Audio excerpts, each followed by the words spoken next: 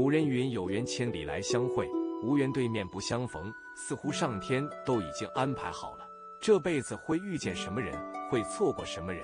可人一旦到了六十岁，将会和生命中的这四种人缘尽，这又是出于何种缘由呢？读国学经典，悟人生智慧。欢迎订阅《大道无形》。相伴多年的同事，常言道：“铁打的营盘，流水的兵。”在所有除去亲人的关系当中，占友意是最可靠的，就像是铁打的营盘。一旦建立起真挚的友谊，必然就是长长久久，不会轻易改变。反之，最不可靠的其实就是同事情。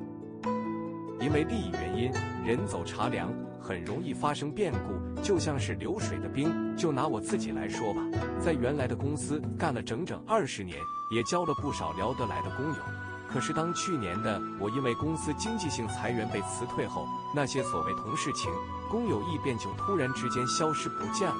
最令我感到痛心的是，一个铁哥们居然到现在为止都没有给我打过一个电话，说过一句安慰的话，甚至都连一条微信都没有发过。患难见真情，我相信大家伙跟咱的想法应该都一样。这样的兄弟，连普通朋友都算不上。不交也罢。于是我想了很久，就在昨天，还是把他从我的微信朋友圈里面给删除了。不过凡事也没有绝对，有些人很幸运，在单位和公司或许也能遇到志同道合的真正朋友，甚至还能找到称心如意的另一半。如果是这样，劝你还是要好好珍惜，毕竟这样的同事真是凤毛麟角，少之又少。不管是怎么说。甭管好同事也好，势利眼的同事也罢，一旦过了六十岁，便就要学会豁达，慢慢试着与同事说拜拜了。为啥？因为跟同事相处时间已经够多了，每天几乎都是八至十小时。若再除去吃饭跟睡觉的时间，六十岁的您觉得跟家人在一起的时间还剩下多少？为了自家的生活，还是利用这段距离退休越来越近的时间，跟同事画个别吧。回去多陪陪家人，多关心关心儿女。我相信，只要是真心为你好的同事，他们便一定会理解你的苦衷。年迈的父母，有这么一句话：父母在，人生尚有来路；父母去，人生只剩归途。父母还在，故乡还在，心中依旧有温暖的一面。只要父母走了，故乡就没有意义了，内心也变得冰冷起来，因为下一个。就到自己了。圈中的老陈在送走了自己的老父亲后，感慨地说：“时光就像是一个淘汰机器，淘汰了一代人又一代人的人类，我们也是其中的一份子。”唐朝的张若虚在《春江花月夜》中写道：“江畔何人初见月？江月何年初照人？人生代代无穷已，江月年年望相似。是谁第一个看见了月亮？江月又在照着哪一个人呢？”人类终究一代又一代的传承下去，江月从古至今都是这个样子，没有任何的改变。跟父母缘尽，既代表了父母命数的终结，也代表我们将走回父母的老路。缘起缘落，缘聚缘散，不可避免。人到六十，我们已经老了，而我们的父母更老了。人到六十，我们绝大部分的父母都已经进入了耄耋之年。一个进入耄耋之年的人，往后余生应该不多了，也许就几年的光阴，也许还有十几年的时间。但不管如何，人到六十的我们，都要做好父母撒手人寰的准备了。在这样的一个年龄，我们要时时关注父母的生存状况，常常陪父母聊天说话，让他们的晚年不至于那么孤独，那么的寂寞。人到六十。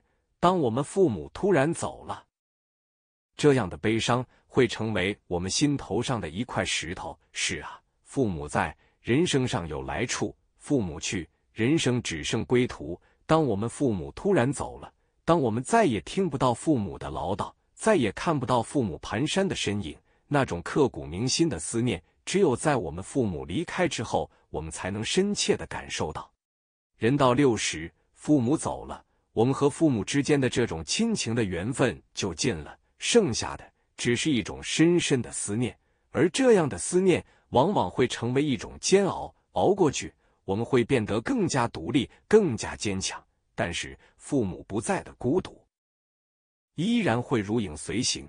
而如果熬不过父母离去之苦的人，往往会变得郁郁寡欢，甚至一个人沉迷在子欲孝而亲不在的自责中，难以自拔。因此，有些人到六十的时候，会因为父母的离去而变得难以自拔，晚景凄凉，也是很有可能的。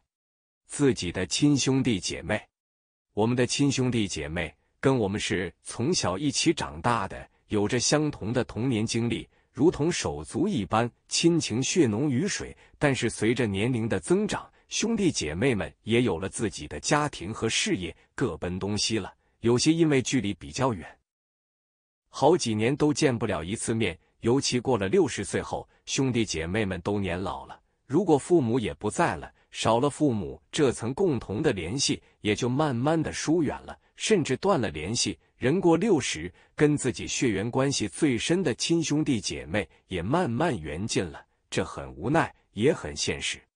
藕断丝连的前任，不少人结婚后还跟前任藕断丝连，纠缠不清，这是不太好的的行为。既然无缘在一起，那就不妨把心狠下来，该断则断就好。有很多人都舍不得，认为自己跟前任曾经相爱过，没必要做得如此绝情。这就会导致一个结果：你不对别人狠心，别人就会对你狠心。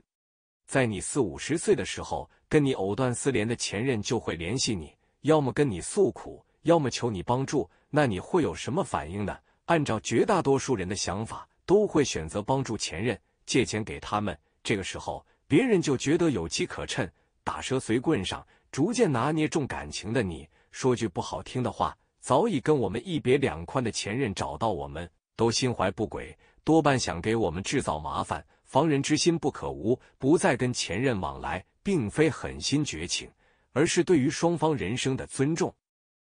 也许在我们年轻的时候，我们曾经邂逅过属于自己的美好爱情，但是并不是所有的爱情都会有美好的结果，有的爱情。即使在步入了婚姻殿堂之后，也可能会遭遇意外的打击，结果造成夫妻二人的分道扬镳。当看着自己曾经深爱过的人就这样慢慢的消失在了自己的视线里，那种刻骨铭心的爱恋，真的会让我们感到一种孤独，一种荒芜的寂寞。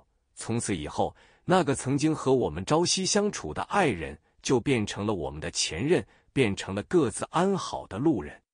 人到六十。我们老了，往后余生，我们要懂得和自己的爱人相濡以沫，白头到老了。这时候，我们要知道，我们已经永远无法和那个曾经的前任破镜重圆了。即使再次见面，我们也不能藕断丝连，好好的守住现任，守住自己的家庭，才是正确的选择。而那个曾经的前任，我们就放下吧。也许从此以后，各自安好，各自过往属于自己的往后余生。这才是面对前任的最佳做法吧。